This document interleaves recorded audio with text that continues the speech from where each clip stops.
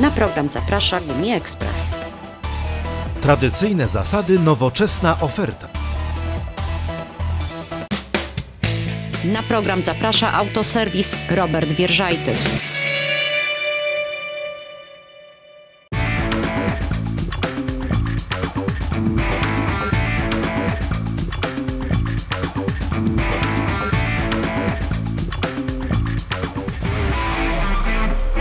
Dariusz Woźniak, witam serdecznie Państwa w kolejnym wakacyjnym odcinku magazynu Zakółka. E, Jak wakacje, to wzmożony ruch na naszych e, drogach. E, O tym, jakie planowane są akcje drogówki w okresie wakacyjnym, zapytam naczelnika Wydziału Ruchu Drogowego Suwalskiej Policji. Zapraszam Państwa na rozmowę. Dzień dobry Panie Naczelniku. Dzień dobry, witam pana, witam państwa serdecznie. Panie Naczelniku, wakacje się rozpoczęły. Jaki Wydział Ruchu Drogowego ma plany na aktualne wakacje, tak aby te wakacje na drogach e, naszego miasta, naszego powiatu e, przebiegły bezpiecznie? Y, My jako policja w okresie wakacyjnym organizujemy, to jest od 19 czerwca do 1 września, działania pod tytułem Bezpieczne wakacje. Chodzi tutaj o bezpieczeństwo osób podróżujących, czyli kierowców, pasażerów, jak, również innych tutaj uczestników drogi. Y, Będziemy tutaj y, organizować w miejscach wypoczynku letniego spotkania y, z dziećmi i młodzieżą dotyczącą bezpieczeństwa poruszania się w ruchu drogowym,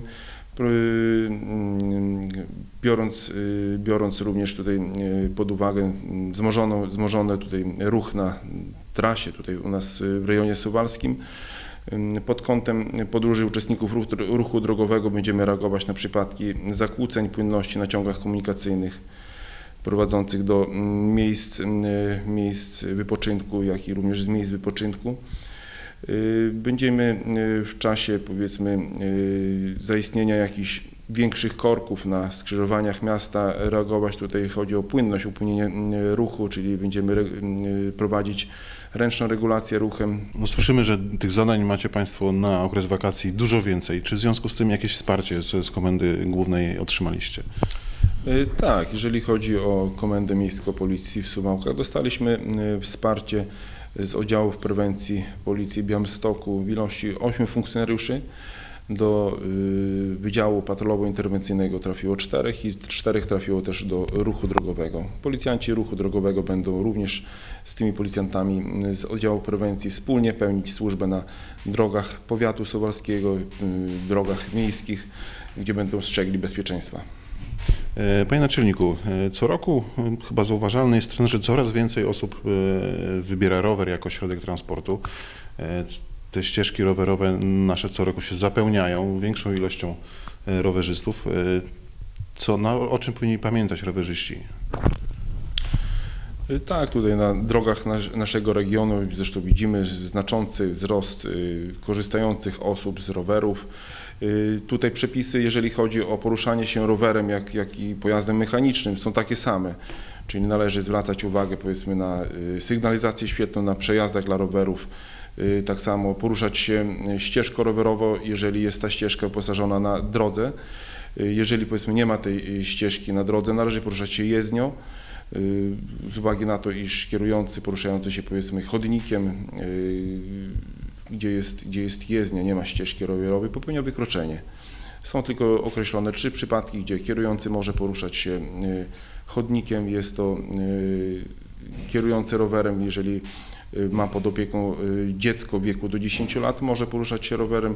W drugim przypadku, jeżeli są mm, złe warunki atmosferyczne, czyli opady, intensywne opady deszczu, śniegu.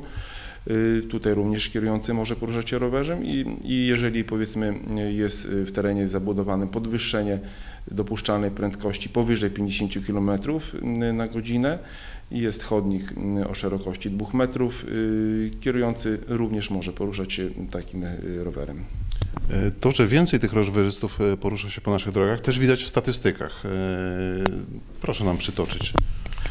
Tak, więcej porusza się tych rowerzystów. No jeżeli chodzi o y, kontrolę pojazdu, mogę tutaj przytoczyć w 2000 w 2018 roku żeśmy y, dokonali kontroli y, 55 rowerów, z czego 41 osób popełniło y, wykroczenia, zostali mm, ukarani za y, wykroczenia drogowe. Zaś w 2019 roku żeśmy dokonali kontroli y, 138 rowerów, gdzie 61 y, osób zostało również ukaranych. I to tak naprawdę początek sezonu rowerowego jest. Y, Tak, to jest początek sezonu rowerowego. No, powiem tak, no, policjanci y, też y, sprawdzają te rowery, jeżeli chodzi o legalność pochodzenia. Nie należy obawiać się, jeżeli policjant powiedz- powiedzmy zatrzyma y, taką, taką osobę, rowerzystę, będzie chciał dokonać kontroli powiedzmy y, legalności tego, tego, tego pojazdu, sprawdzić numer y, ramy i tak dalej. No wiadomo, to chodzi też no, o bezpieczeństwo, y, o bezpieczeństwo państwa,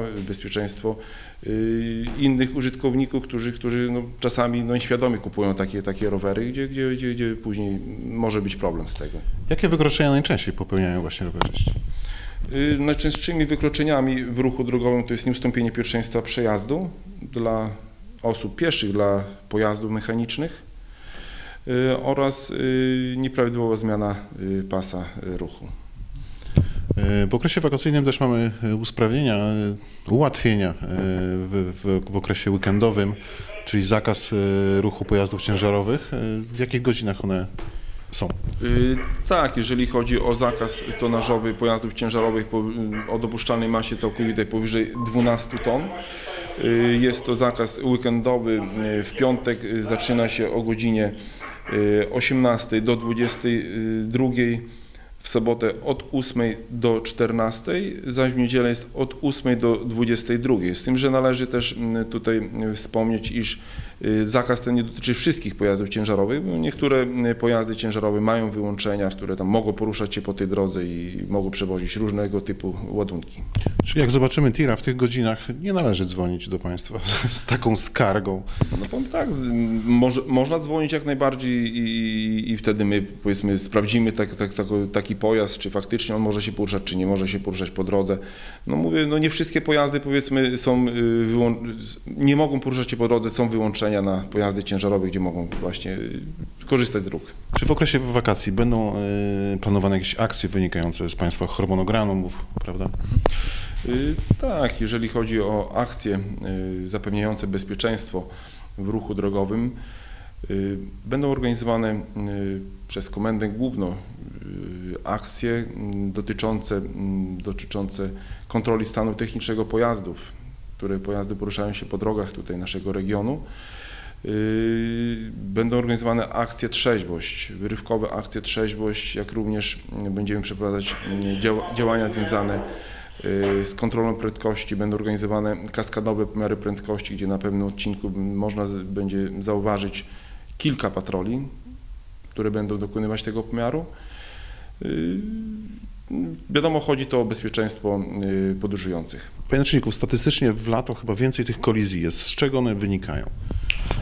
Y, Tak, w okresie letnim w sumie jest więcej poważniejszych zdarzeń drogowych, jak powiedzmy w okresie zimowym. Tutaj dochodzi, wiadomo, no, ładna pogoda, wysokie temperatury. Dochodzi wtedy, wiadomo, no, prędkość do, tych, do, do, do, do tego jeszcze przyczynia się.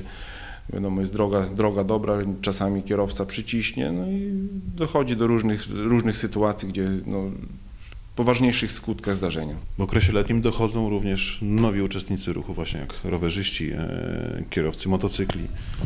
Y, Tak, w okresie letnim właśnie y, dochodzą tutaj, tak jak Pan wspomniał, i rowerzyści, i motocykliści, dlatego też no, należy zwrócić uwagę i o, proszę o rozsądek, wiadomo, tych, tych użytkowników drogi, aby, aby zwracać uwagę nie tylko na siebie, a też na innych uczestników drogi, bo wiadomo, no, motocyklem no, szybciej poruszamy się po tej drodze na pewno i sprawniej, zaś mniej jest widoczny powiedzmy taki motocyklista jak kierujący pojazdem, samochodem.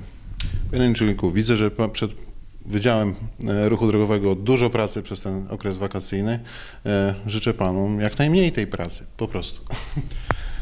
No, dziękuję również, życzę dla wszystkich użytkowników bezpiecznego y, powrotu, y, wyjazdu, y, wypoczynku. Ja dziękuję za rozmowę. Dziękuję Panu, dziękuję Państwu serdecznie.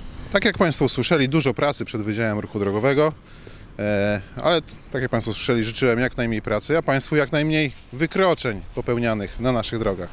E, A z Panem Naczelnikiem spotkamy się w środku wakacji, zapytamy jak pierwsza połowa wakacji e, mija, jak się sprawujemy na tych drogach. Także na dzień dzisiejszy dziękuję Państwu za uwagę. Do zobaczenia we wtorek.